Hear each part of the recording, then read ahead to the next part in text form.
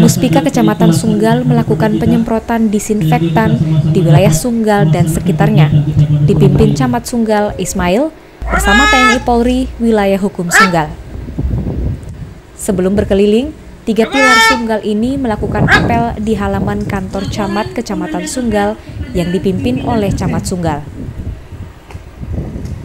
Kapolsek Sunggal Kompol Yasir Ahmadi bersama dan Ramil 01 Sunggal Kapten Liston Situmeang, dan petugas Damkar Kabupaten Deli Serdang melakukan penyemprotan cairan disinfektan ke sepanjang jalan besar Kecamatan Sunggal, jalan menuju Desa Paya Geli, serta Desa Medan Krio.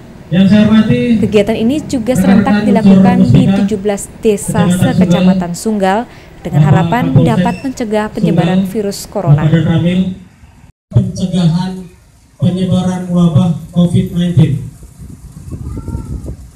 Walaupun tadi pagi secara serentak seluruhnya dari desa ke desa sudah melaksanakan kegiatan ini.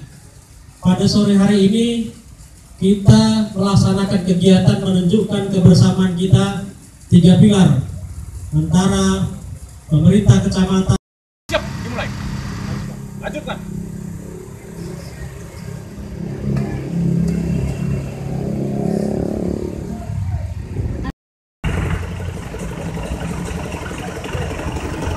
Dari Medan, Sumatera Utara, Abdul Meliala, Tribrata TV, Salam Tribrata.